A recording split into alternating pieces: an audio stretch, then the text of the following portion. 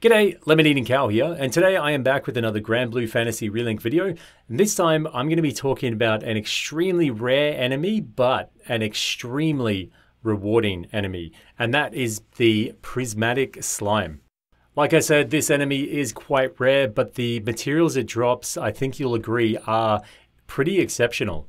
Beating this slime has a chance to drop Ambrosia, which gives you 15,000 mastery points on use. Also Damascus ingots, which allows you to raise the level cap of any weapon at any stage up one tier. So if you've got a weapon at level 125, you can raise it to 150 by simply using this Damascus ingot, and it will bypass all of the required materials and simply use one of these ingots. There is also a chance that the slime will drop the Azurite Splendor. Now this allows you to always raise a sigil to its maximum level regardless of the sigil's rarity. Along with this, the slime will also drop 500 of the Wayfarer tickets. As far as the actual mastery and the experience and rupees drop from the prismatic slime, I'm not too sure of the exact values, but regardless of that, the items alone dropped are totally worth it.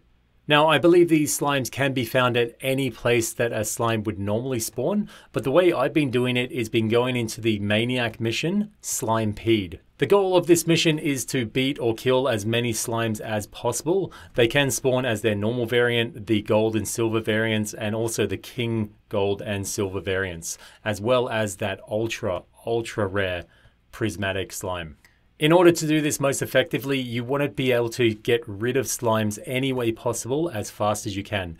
Now, this doesn't always mean defeating all of the slimes. It can just be hitting the slimes to get them out of the way so that they respawn with the chance of possibly spawning that prismatic slime.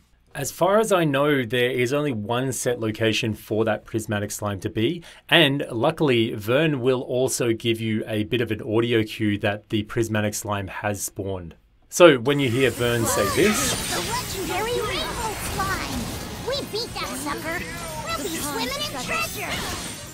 Once you hear that, run to the raised part of the arena, and you'll notice that there's an extra pot stuck right in the middle of that uh, raised platform.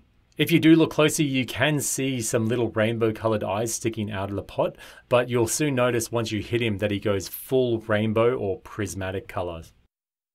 This guy does move pretty fast, but as far as my experience goes, I haven't actually had him despawn, but I wouldn't really risk it. I would be going straight for this guy and dumping everything you've got on him.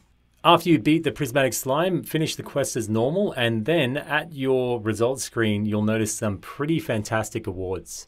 So my testing pool has been pretty limited on these slimes, so I would really appreciate your feedback down in the comments if this has worked for you in the terms of uh, what loot you got or if there's any tactics you can use to make this slime spawn more often.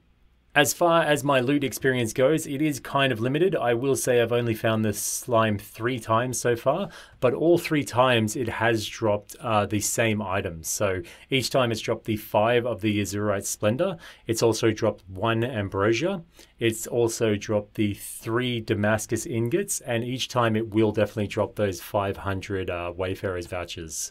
Now, as far as tactics goes to possibly make this guy spawn faster, I had been using Narmaya, and the way I was doing it was just repeatedly using a charged attack. Now, it doesn't matter if you're not strong enough to delete the enemies straight away with this one charged attack, but the real beauty of hitting the whole room with this attack is that you will, regardless of them running or dying, they will have another pot appear in their place, and each pot appears that appears will give you a chance to spawn that prismatic slime. So, what is your experience with the prismatic slime bin? Have you found them in other places at all? Have you been able to beat them? And what were your rewards when you got them? I'd really appreciate their feedback in the comments below. If you did like this video and you found it helpful, then leave, please leave a thumbs up. If you've got any comment suggestions, then leave them down, down below. And uh, I can't really talk at the moment because it's bloody hot. But uh, anyway, until the next video, this has been Lemon Eating Kow. Mmm. Goo.